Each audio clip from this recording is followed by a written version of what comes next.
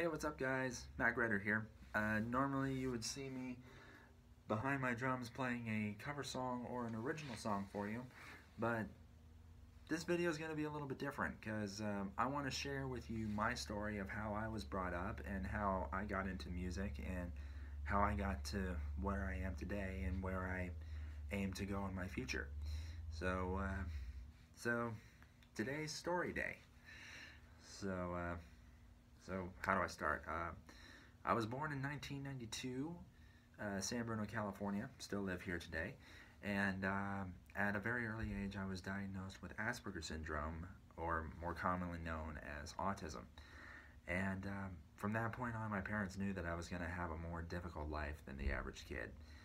And in elementary school, I would always find myself getting getting made fun of and being picked on, being put down, and pretty much all the other kids trying to put me in the worst light they could.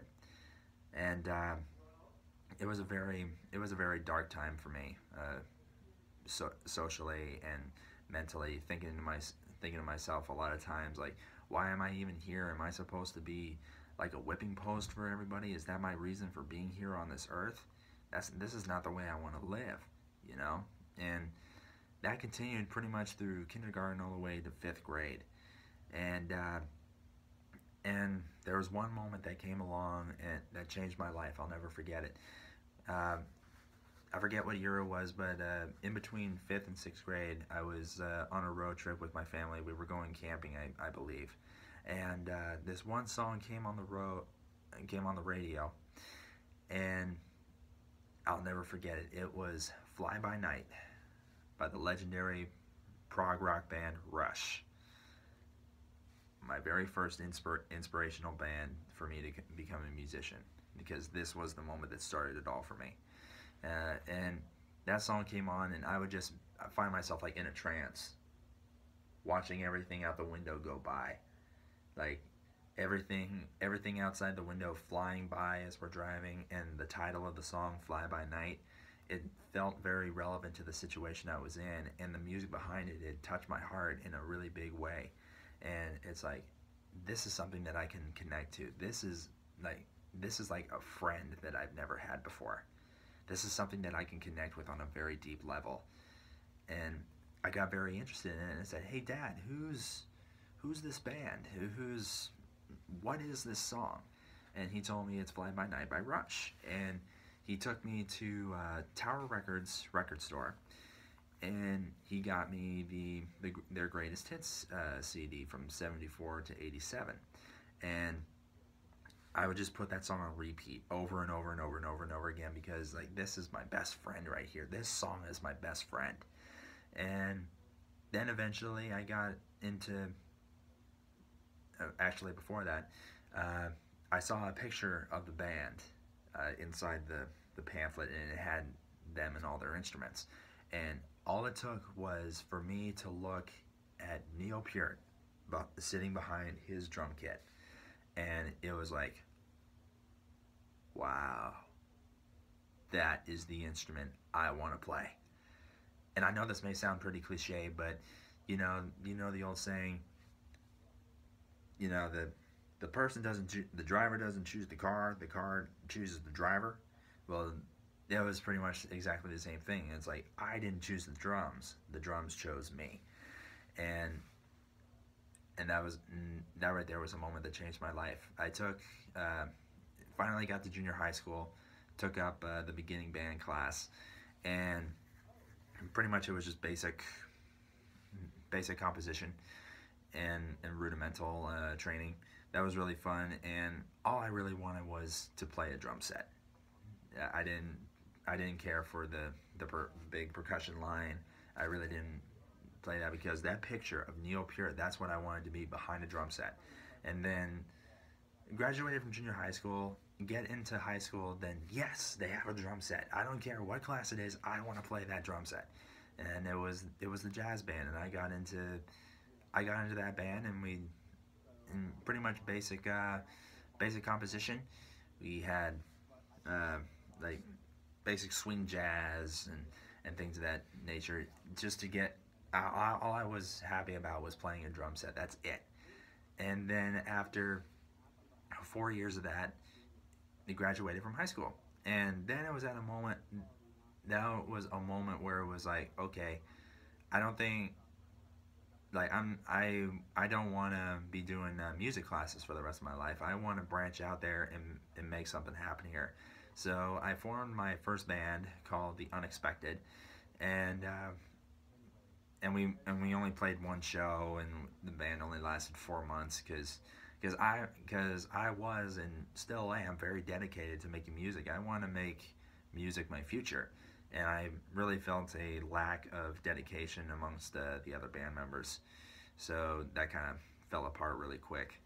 And then uh, I started jamming with a with a friend or an acquaintance really from from high school, who who who I became friend, friends with later on, and we started we started playing along, jamming around. He had his guitar, and I was playing my my Verve percussion drum set that I got for twenty dollars from a family friend.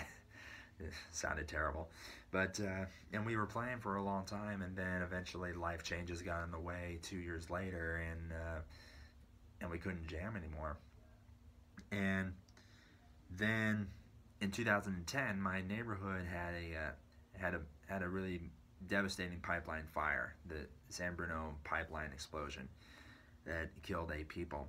And that was really a moment where it's like I gotta.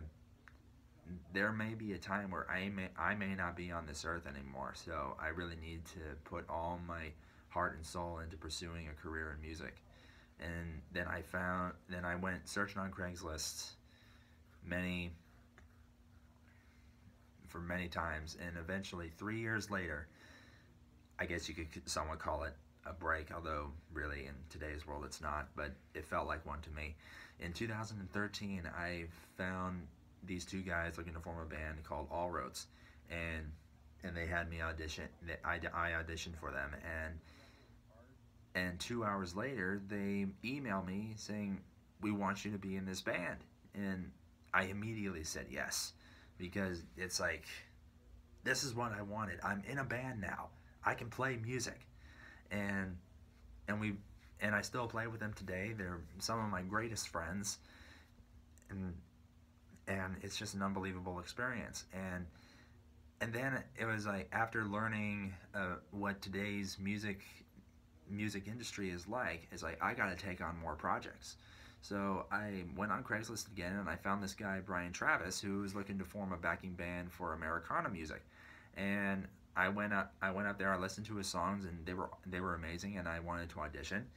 And I drove all the way up to Vallejo and and pretty much and he he gave me seven songs to learn in two days, which trying to learn everything note for note, that's impossible for someone like me. So what I did was I took uh,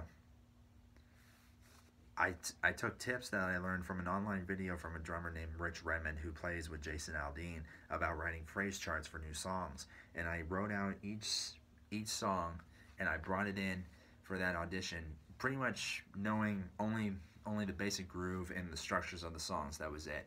And then pretty much halfway through, he's like, "Dude, you're hired." I'm like, oh my god, I can't, I can't, I couldn't believe it. And so I'm at a point in my life now where are my dreams of becoming a musician 100% fulfilled? No, they are not.